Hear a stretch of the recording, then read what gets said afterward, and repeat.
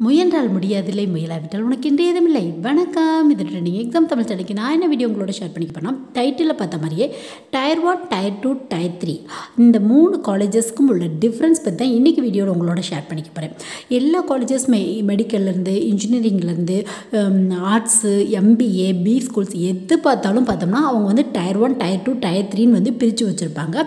So வந்து இதை பற்றிய டீட்டெயில்ஸாக இன்றைக்கி நான் வந்து உங்களோட ஷேர் பண்ணிக்க போகிறேன் இந்த tier one tier two tier த்ரீயை எதை பேஸ் பண்ணி பிரிப்பாங்கன்னு பார்த்தோம்னா அக்கடாமிக்ஸ் பொறுத்து இன்ஃப்ராஸ்ட்ரக்சர் பொறுத்து ஃபேக்டலிட்டி ஒர்க் பண்ணுற ஃபேக்டலிட்டியை பொறுத்து அங்கே ரிசர்ச் அந்த பிஹெச்டி இதை பொறுத்தெல்லாம் பிரிப்பாங்க. பிளேஸ்மெண்ட்ஸ் எப்படி கொடுக்குறாங்க அந்த காலேஜ் அதை பொறுத்து பிரிப்பாங்க.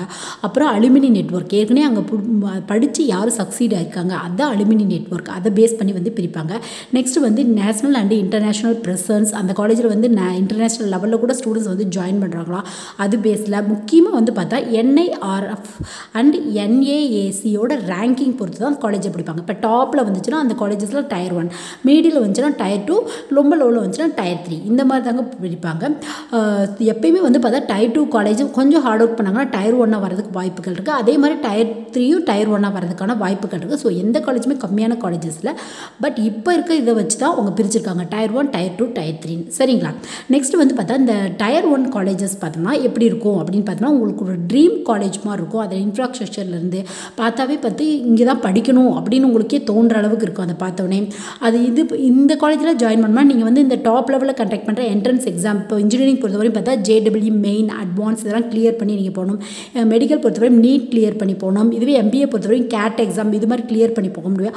அப்போ தான் வந்து இந்த டயர் ஒன் எக்ஸாம்ஸ்க்கு வந்து போக முடியும். இப்போ டயர் டூ டயர் த்ரீக்கு நீங்கள் வந்து இப்போ இன்ஜினியரிங் பொறுத்தவரையும் பார்த்தோம்னா தமிழ்நாடு என்ட்ரன்ஸ் அந்த அட்மிஷன் நடத்துகிற டிஎன்இஏ அந்த கவுன்சிலிங் போய் அப்ளை பண்ணி கூட நீங்கள் டேரெக்டாக போய்க்க முடியும். பட் இதுக்கெலாம் வந்து இந்த டாப் லெவலில் கண்டக்ட் பண்ணுற எக்ஸாம் எடுத்து தான் நீங்கள் போக முடியும் நெக்ஸ்ட்டு பார்த்தோம்னா ஹைலி மோட்டிவேட்டட் ரொம்ப ஸ்டூடெண்ட்ஸ் வந்து ப்ரெஷர் கொடுக்காம இவங்க வந்து ஹைலியாக மோட்டிவேட்டட் ஆக பண்ணுவாங்க அப்படிங்கிற மாதிரி சொல்கிறாங்க அது மட்டும் இல்லாமல் அந்த டாப் இன்ஸ்டியூட்ஸில் படிக்கும்போது நம்மளோட மைண்ட் செட்டே மாறிடும் நம்ம லைஃப் ஸ்டைலே மாறிடுங்கிறாங்க நம்ம படிக்கிறதே டாப் இன்ஸ்டியூட் தான். கண்டிப்பாக நம்ம சக்சீட் ஆயிடுவோம் அப்படிங்கிற மாதிரி உங்களுக்குள்ளே ஒரு தன்னம்பிக்கை வந்துடும் அப்படிங்கிறாங்க.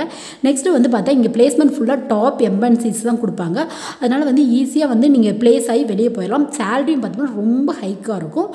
இது வந்து ரெப்யூட்டட் இன்ஸ்டியூட்டர்ஸ் அப்படின்னு மாதிரி கூட சொல்லுவாங்க. நெக்ஸ்ட்டு வந்து பார்த்தோம்னா ரெகுலராக ஒர்க் ஷாப் செமினார்ஸ் அப்புறம் உங்கள் கோ கரிக்குலர் ஆக்டிவிட்டீஸ்லாம் டெவலப் பண்ணுறதுக்கு இந்த மாதிரியான ப்ரோக்ராம்ஸ்லாம் இங்கே நடந்துக்கிட்டே இருக்கும். ஸோ இதாங்க பேசிக் டீட்டெயில்ஸ் டயர் ஒன்னை பற்றி இதுவே டயர் டூக்கு வந்தோம்னா இங்கே அக்கடாமிக்ஸ் நல்லா தான் இருக்கும். இன்ஃப்ராஸ்ட்ரக்சர் பொறுத்தவரையும் ஒரே ஓரளவு ஓகேவாக தான் இருக்கும். ரொம்ப மோசமாலாம் இருக்காது. ஃபேக்கல்ட்டி குட்டாக இருப்பாங்க. இதுவே டயர் ஒனில் வந்து கண்டிப்பாக பிஹெச்டி முடித்த ஸ்டாஃப்ஸ் தான் இருப்பாங்க. இன்டர்நேஷ்னல் லெவலில் இருக்கப்போ தான் ஃபாரினில் இருக்கிற ஸ்டாஃப்ஸ் கூட இங்கே வந்து கிளாஸ் எடுக்கிறதுக்கான வாய்ப்புகள் இருக்குது சரிங்களா? அப்புறம் வந்து பிளேஸ்மெண்ட் பார்த்தோம்னா இங்கே டாப் எம்என்சிலாம் வராது. அப்படியே வந்தாலும் ஒன்று ரெண்டு தான் வரும். ஒரு மீடியம் லெவலில் இருக்க கம்பெனி வரும். அங்கே நிறைய ஸ்டூடெண்ட்ஸ் எடுத்தால் இங்கே கொஞ்சம் லெவலில் இருக்க ஸ்டூடெண்ட்ஸ் தான் எடுப்பாங்க. சரிங்களா? அலுமினி நெட்ஒர்க் வந்து பார்த்தோம்னா அந்த அளவுக்கு இருக்காது. ஏற்கனவே படித்து சக்சீட் ஆனவங்க ஓரளவுக்கு சுமாராக தான் இருக்கும். அதுக்கப்புறம் பார்த்தோம்னா சம் ஆஃப் தி காலேஜஸ் என்ன பண்ணாங்க? இப்போ தான் ஆரம்பிச்சிருப்பாங்க. அவங்க வந்து டயர் டூ பொசிஷனில் இருப்பாங்க. அவங்க வந்து புஷ் பண்ணிகிட்டு இருப்பாங்க டயர் ஒன்னுக்கு வர்றதுக்காக. சீக்கிரம் வந்து டயர் ஒன்னுக்கு போயிடுவாங்க அவங்க. நல்ல ரிசல்ட்ஸ்லாம் கொடுத்து பிளேஸ்மெண்ட்ஸ்லாம் கொடுத்தாங்கன்னா கண்டிப்பாக டயர் ஒன்னுக்கு சேஞ்ச் ஆயிடும் அந்த காலேஜ் சரிங்களா?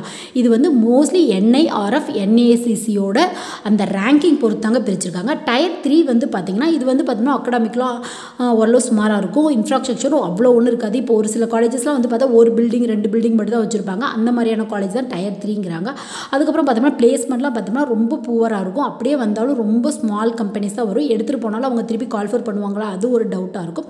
ரொம்ப மோட்டிவேட்லாம் பண்ண மாட்டாங்க. உங்களுக்கு என்ன ஒரு டிகிரி கொடுக்கணும்? அதுதான் அவங்க பாயிண்ட் ஆஃப் இருக்கும். மோஸ்ட்லி வந்து பிஸ்னஸ் மைண்டடாக இருக்கவங்களாம் இந்த மாதிரி காலேஜில் எனக்கு டிகிரி மட்டும் இருந்தால் போதும் அப்படிங்கிற மாதிரி நீங்கள் நினைக்கிறவங்களாம் இந்த மாதிரியான காலேஜஸ் சூஸ் பண்ணி படிக்கலாம். ஸோ இந்த வீடியோ மூலிமா tier one tier two tier three இந்த மூணு காலேஜஸ்க்கு உள்ள டிஃப்ரென்ஸ் உங்களுக்கு தெரிஞ்சிருக்கும்னு நினைக்கிறேன். எனவே தேங்க்ஸ் ஃபார் வாட்சிங்